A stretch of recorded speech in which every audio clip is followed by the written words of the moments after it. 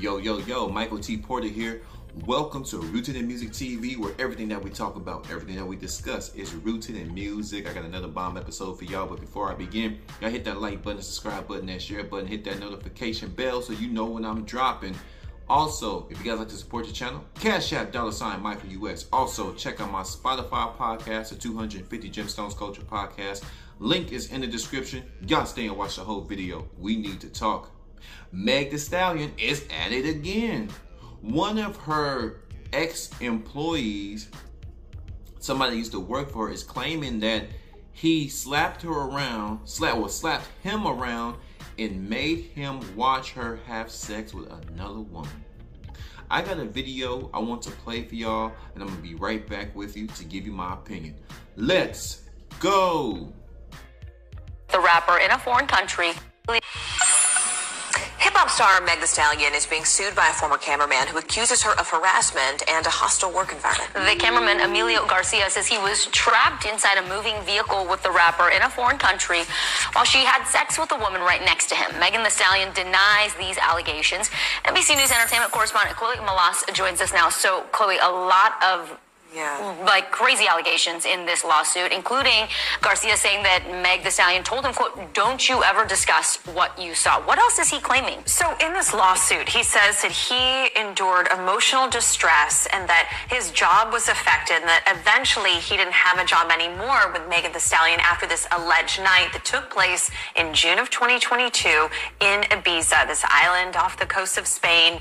Um, and like you said, he says that he was in this car, you know, he had been working for Megan Thee Stallion for a few years as a cameraman, and that he witnessed Megan Thee Stallion allegedly taking part in a sex act with another woman, and that the next day, Megan Thee Stallion allegedly said, Did you see what happened? Don't ever speak of that again. And he says that she allegedly fat shamed him and berated him and mm-hmm. docked his pay out of nowhere. And he says his life just became, you know, a nightmare. And so now he is suing. And her attorneys, um, Alex Spiro, uh, he's a top attorney here in New York. They've released a statement saying that this is just a money grab, that they will see this through in court, and that it's absolutely not true. And she personally hasn't said anything, has she, about this? Like on her Instagram? Or No, like not yet. But as you might remember, last summer and you know before, she was in the headlines for this Tory incident Lanez, between yeah. her and Tory Lanez when Tory Lanez shot her in the foot. Tory Lanez sentenced last summer to 10 years in prison, um, and Megan Thee Stallion gave an emotional statement um, in court. And so, you know, that is also one of the things that you had been hearing about her. Obviously, not her doing, and now obviously being hit with this lawsuit. So it'll be interesting to see if other people who have worked with her will they come forward and defend her or have similar claims, um, and will this potentially get settled out of court or eventually make its way inside of a courtroom? We will see. Entertainment correspondent Chloe Melas. Chloe, as always, thank you. thank you. Would y'all like my opinion? Would y'all like some of this rooted in music TV commentary? Well, of course you do. That's why your ass is here. Is this claim too far fetched when it comes when you talking about women like Meg Thee Stallion, Cardi B, some of the nastiest women you ever want to meet? Now, as far as the bedroom action, as far as getting my freak on. Oh yeah, I can see myself laying down with one. But far as a real relationship, nigga, please. As far as putting a, a ring on it, like Beyonce say, and making one of these hoes, I mean, uh, uh, women, my wife, absolutely not.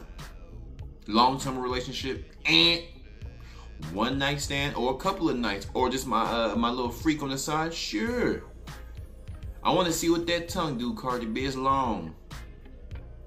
But the way these women are drugging men, while he's being drugged, he's like this. They all the strippers are running through his pockets, taking his credit cards. Damn, the ultimate finesse. Now, this is why I say it's not too far fetched because Meg Thee Stallion is bisexual. I mean, it's obvious that she like girls. This girl on girl, this lesbian feminism stuff they got going on around here, boy, it's hot and heavy, especially in the the world of women. Oh, women been kissing on women. I mean, they can't get enough for each other. They're gonna defend each other. They're gonna kiss on each other. They're gonna make music together. God damn.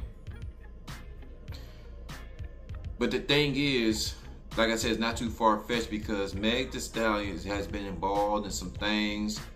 She said some things, and just her whole aura. You know, they've been doing a lot of stories about Meg, how she got famous. She's part of the Illuminati. So when you cross into that mainstream, you into you are into some serious stuff. I mean, the Hollywood and the music industry been exposed, and she's part. She's way up there, way up there. Blood sacrifices. Nicki Minaj, I believe she was hinting that Meg Thee Stallion sacrificed her own mom. She's hanging out with girls like Cardi B who drug men and steal their money. I mean, is the story too far fetched? No. But here's the thing: as a man, how you let a little girl? Because I don't know. I look at women little kittens because I have to protect them. I don't ever look up to a woman. I always look down because I have to protect. I have to protect them. So, as a man, you are stronger than men. You couldn't just walk out the room. So that's where this story is kind of far fetched. It's kind of crazy because how does a woman force you to watch her indulge in sexual relations with another woman? How does a little girl I don't give a damn she's six foot. She's still my little girl because I have to protect her. Like I said, I'm the man of the relationship. I'm stronger. I can whoop her ass. So, as a grown man, you had a choice to leave. Then she said, uh, news report after this incident went on, it's been nothing but harassment and, you know, making his job a living hell because he won't conform to the lifestyles and ways in which she thinks he should operate in. So it, it, it's, it's kind of crazy. Meg Thee Stallion, she just out there, out there, and this man, I don't know, he's it's not too far fetched because Meg Thee Stallion's history, it is kind of crazy because you're a grown man. No grown man should ever allow a woman to just handle him like that, whether it's uh, business related or in personal relationships. You can't have your woman in a relationship or any woman in your life ragdoll you. They're gonna talk about today, girl, yeah, girl, I kicked his ass last night. Uh, he tried to put up a fight, but uh, I ducked. I ducked twice. I came up. I get that. I get that fool two hooks. Bam, bam. And I gave him an uppercut and a straight punch. Boop, boop. And he was out, girl. Yeah, I whooped. I whooped him good. Come on, man. Could y'all flood my comments do y'all believe that this man is telling the truth? He was forced to watch Meg Thee Stallion get her freak on?